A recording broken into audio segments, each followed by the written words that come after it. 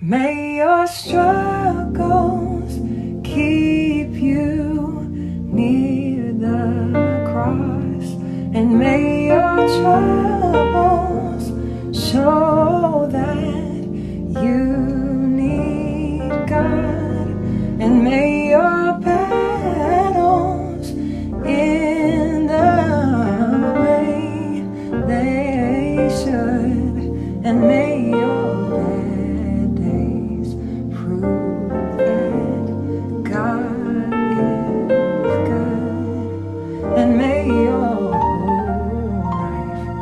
Oh.